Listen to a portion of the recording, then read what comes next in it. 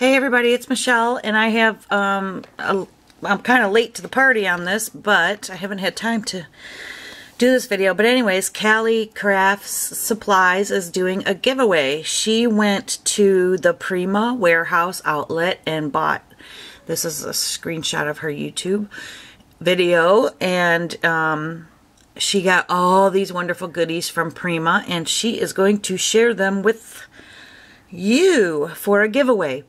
And so what you have to do, that is her YouTube channel right there. Craft Supply, Cali Craft Supplies. That's on YouTube. And that's the video. But I'll put a link to everything down in the description box. Her YouTube channel, uh, the video, her Etsy store, and her Facebook page. So in the description box, you can click on the links and it'll take you to where you need to go. But anyway, so all you have to do to be entered into this giveaway, which today is the last day, and she's drawing tomorrow. So you still have time to get in on it.